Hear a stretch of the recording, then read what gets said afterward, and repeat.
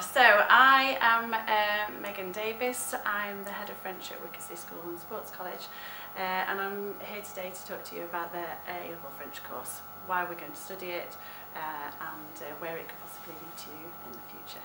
Uh, so, the unlike GCSE, which is based more on yourself, the um, A level course is um, centered completely on Fran France, French speaking countries, and the culture of um, French.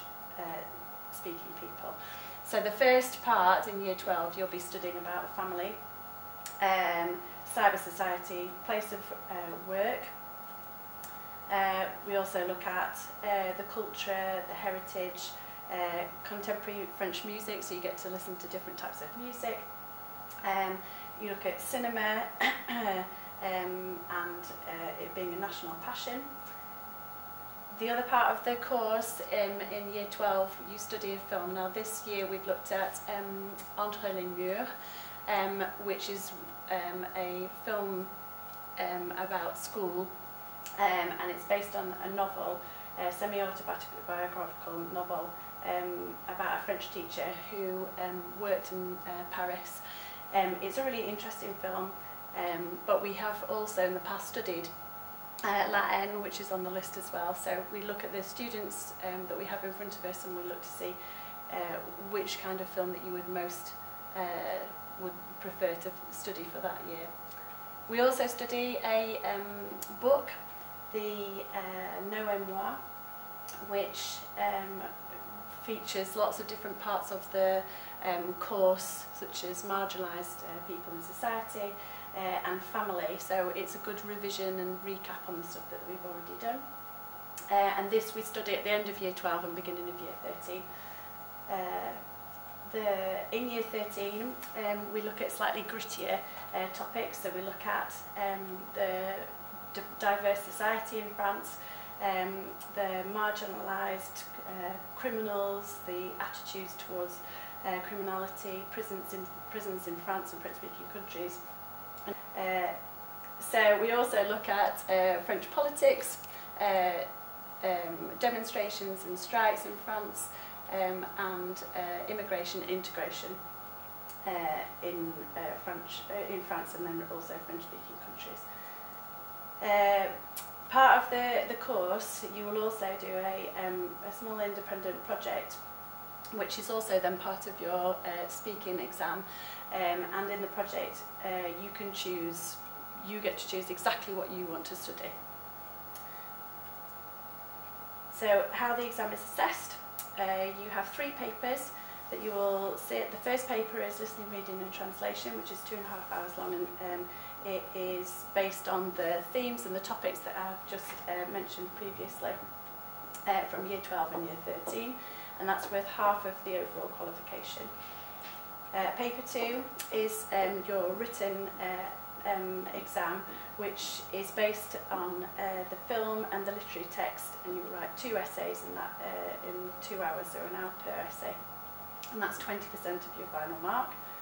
And then the third part, which is your 30% uh, of your um, overall um, A-level grade, um, you do a, um, it's a bit like GCSE in that you get given a card to, to discuss um, in, which is based on the, the, the themes that you've been studying and you get to choose out of two of the sub-themes of which one you want to, to uh, do your um, exam on.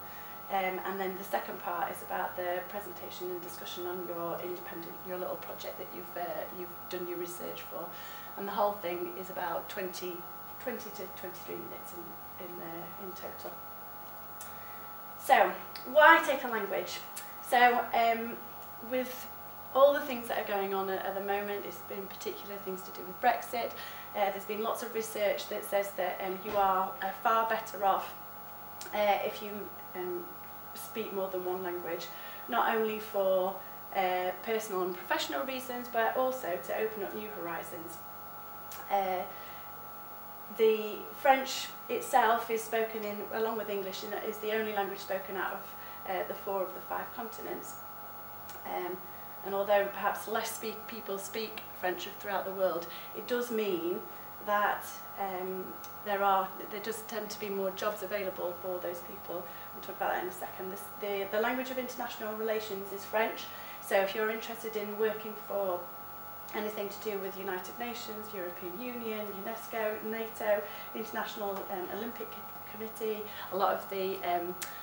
uh, things like Red Cross uh, uh, charities are at their main uh, working language is French. Um, and uh, it's language, learning a language or learning French is uh, definitely a skill that people are impressed by in terms of you know when you when you're going for a job because it does build on so many different skills into including communication, interpersonal, intercultural uh, and uh, public speaking skills. Uh, in terms of uh, languages um, in the UK, the most sought after languages in the UK, the top two are French and German, which are really close together, followed by Chinese, Spanish, and then Italian in terms of uh, the amount of jobs available. Um, and in terms of where it could lead to, uh, there are so many possibilities for uh, qualified linguists. Um, I mean, the re the, there are lots of different uh, jobs that you can link it to, but the in terms of what it's um, uh, directly linked, you can have things like translator, interpreter, languages teacher, tourism and international uh, organisations, but there are also lots of other fields which um, have a working, uh, tend to have language that you can link with it, and university degrees tend to have um, will quite often combine languages with another subject. So, for example, law and French is a really common uh, combination. But you, you know, there's lots of things like jur journalism, law, politics, management, engineering, uh, architecture, business, computing, finance, uh, all to name a few. So even if you decide not to pursue languages after A level, this will be an undeniable asset to your CV and broaden your university choices and career prospects.